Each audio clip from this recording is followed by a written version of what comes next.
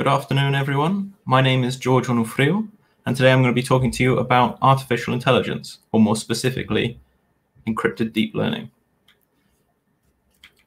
So, a little bit about me. I'm a PhD candidate at the University of Lincoln, uh, more specifically uh, akin to a data scientist, and I'm a very big privacy and Linux enthusiast, as uh, many of you who, who might know me will know, uh, will know all about that last one. Uh, on screen, you can see my GitHub profile uh, and a QR code. So feel free to click on that QR code. It will take you to the repository for this uh, presentation. Drop me an issue, and uh, we, we can have a we can have a chat. Now, my work, just a little bit more about me, is deep learning specifically, which is a subfield of artificial intelligence, and probably also the coolest part of it as well. It's the it's the mind, it's the thinking, it's the reasoning. And along with that, I also work with fully homomorphic encryption, which is a very special form of encryption, which I'll introduce a little bit later. And I use these two things together for agriculture, or more specifically, yield prediction. So that is, in this case, strawberry yields. So predicting how many strawberries we're going to get, how many we can uh, sell, how many will be on the shelves so that you can go buy them. So, you know, this is very much a food on the table kind of thing. And you can see here actually uh, the uh, pest problem and, you know, the uh, interesting scenario of pests and, you know, what, what kind of things they're up to eating overripe strawberries, although you might not necessarily see them as overripe and, you know, generally having their lunch on uh, what would otherwise be ours. So without further ado, what is artificial intelligence? You know, is it the T800 coming for John Connor? You know, is it coming back in time to stop the human revolution? You know, is it, you know, what sort of thing is it? Well, I would I'd probably say it wouldn't. You know, it isn't. This is more cinematography, but it does represent one of our ever going, ever present fears of artificial intelligence and robotics is that, you know, one day they might overthrow us or they might become better than us or, you know, they, they might take up positions or all sorts of things, you know, so some very genuine concerns. Now, what about HAL 9000? Well, I probably also wouldn't say that, you know, current artificial intelligence is a homicidal, spacefaring uh, sentience or, or being.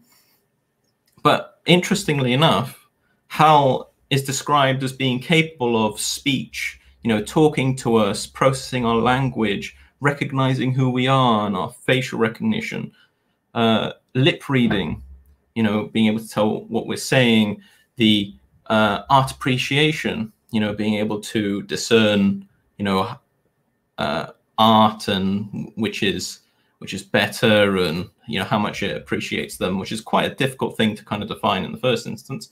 And you know some other general things like playing chess now, I'd probably say that while HAL is described as uh, this kind of general intelligence, it's, a, it's able to do all of these things simultaneously. Current artificial intelligence is more narrow. It is, you know, it can do one of these things or a few of these things, but very well, but only those things very specifically. So I'll take the, the low hanging fruit, as they say. So the first one that I'll tackle is chess. You know, can current AI play games with us? Can it beat us in games? And the answer to that is yes. We've been able to beat people in chess since 1996. You know, it's uh, it's quite a, a well traversed field, and more recently, in the last few years, we've been able to beat humans in even more complex games like Go and uh, Dota 2, and um, you know all, all, sorts of games that, that you might have experienced. What about speech and natural language processing? Well, I'm sure you can already think of several examples of uh, a form of artificial intelligence that can talk to you or that can respond to you. And you know, the first one that comes to my mind is Alexa. You know, I, I won't say that too loudly. You know, but there, there, are many forms. You know, by Microsoft, by Google. You know, uh, coming in from all angles. And they, while I wouldn't necessarily say they are perfect, but for mass-produced uh, ever available AI, it's uh, it's quite a good indicator. You know, it's quite a complex problem to solve. What about art or art appreciation more specifically? Now, it, it's a, it's a very difficult thing to say. You know, uh, how much does someone appreciate art? You know, I, I think that's more of a consequence of embodiment or being, you know, having a body. You know, you might say this person appreciates art because you know they might visit gallery, they might buy art pieces, they might, uh, you know, spend uh, they might converse to you about art, you know, which is something a lot more difficult to do if you don't have a body, if you are just this artificial intelligence. So that, that might be one that, that is a little bit looser. But for now, I'll skip facial recognition and lip reading just, just for a little bit, and I'll come back to those in a minute. But the image you can see here is a very psychedelic image produced by Deep Dream, uh, which was first proposed by Google. And it's this artificial intelligence that keeps applying what it imagines you know what what it's seeing inside the image and because you know um, particular focus is especially for humans and the data set is on animals you know you can kind of see that it's imagining animals you know especially with eyes which also tends to be a focus for humans as well you know and it can be very difficult to interpret what the original image is now another uh, example of art is style transfer so this is a neural network or uh, uh, artificial set of artificial neurons that can take an image, some source image, uh, like the one that you can see at the top left, and then apply some style. So let's say Starry Night. You know, you can take whatever image you have on hand and apply Starry Night to it. You know, and you can do this at home as well. It's not um, it's not restricted. You know, it's not restricted. So an example is with Deep Dream Generator, which you can go online take some source photo, have some uh, style that you'd like to superimpose onto it, and the, you'll queue up uh, some neural networks to to do these, you know, these uh, pieces for you. Effectively, transfer the style from one to the other. You know, and you can see a few examples of it here. I particularly like the Fox one myself. But what's specifically, what is deep learning and what makes it interesting? You know, what, what's so cool about deep learning? And fundamentally, all deep learning is is just machines making sense of the world. It's just machines recognizing patterns, just like we humans do, and we do it with a, in a very similar way to how we imagined it worked with us. You know, with these artificial neurons. You know, some uh, sensory input that is being output with with some weights. You know, it's a it's a very old model of how we imagined uh, our uh, neurons worked, but uh, nonetheless, it produces great results.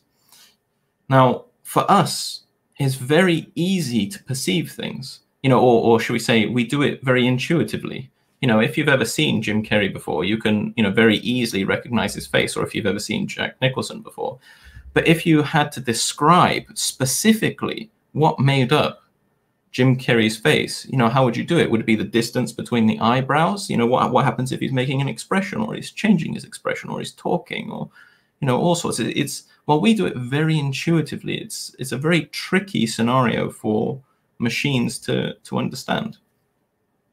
But fundamentally, it's just a set of cool techniques to take these neurons from one place to another, and you can use them in so many different ways and one of those ways that you can see on the right is called deepfake, where you take uh, one person's face and you can superimpose someone else's automatically. You know, it can recognize the boundaries of a face, what makes up that face, and it can superimpose, in this instance, Jim Carrey's face in The Shining. So you can watch a good portion of the film with Jim Carrey instead of Jack Nicholson.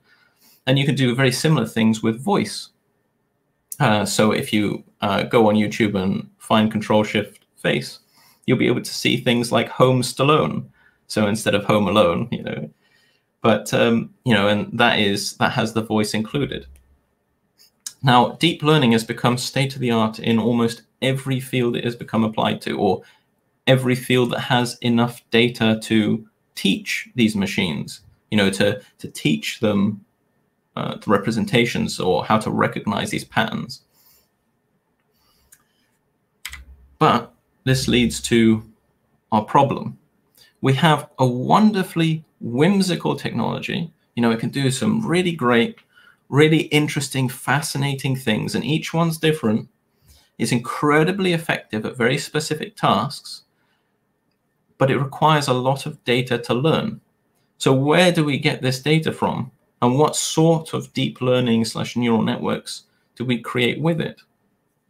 So, you know, already in San, Fran- Fran- sorry, San Francisco, for instance, they have banned facial recognition uh, because of fears of, let's say, uh, a social credit system or being misused by, by law law enforcement, just like it already is in, in certain parts of the world.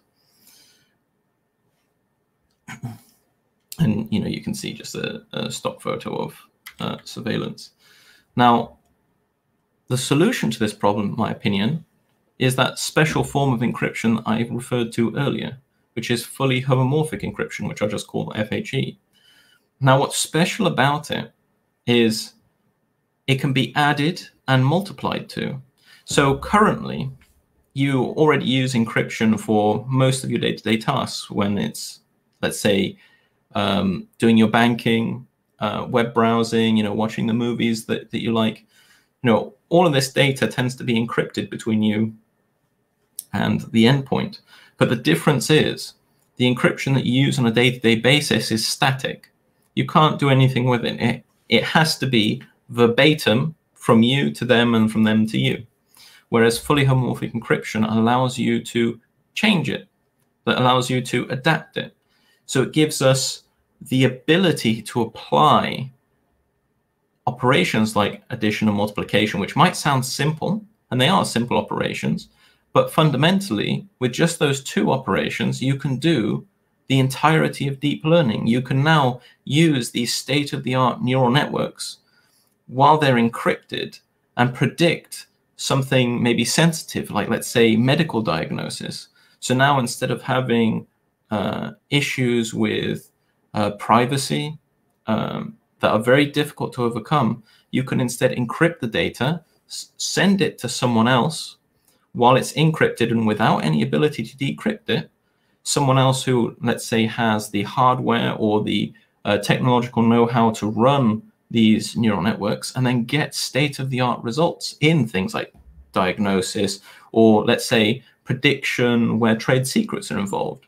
So that can improve things like um, efficiency of food growth, you know, and provide provide more food, make things cheaper, you know, or let's say even with your Amazon Alexas, you know, they can all keep, sorry, I should have said that a little bit quieter, but they can all keep their own keys. So your voice, for instance, never leaves the Alexa. Only in encrypted form does it ever leave it, and it's not decryptable beyond the Alexa, which originally uh, encrypted that that voice.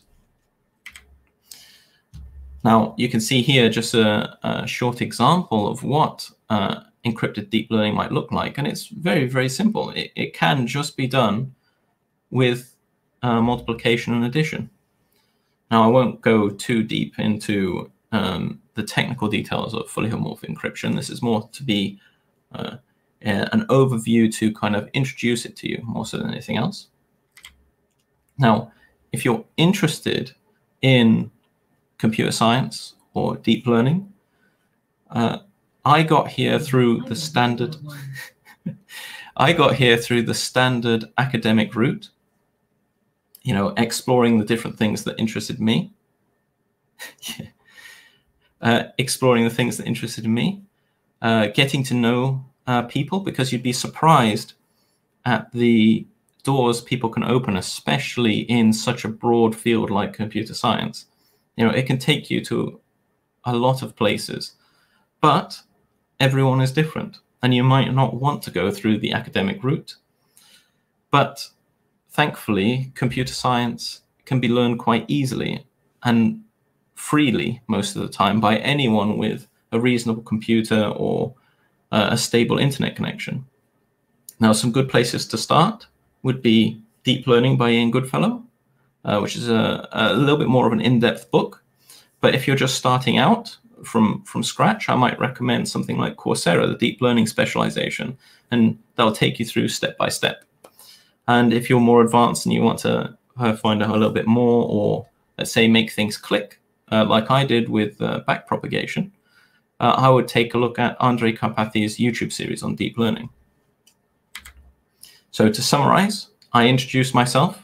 I introduced the problem of secrets after talking about deep learning.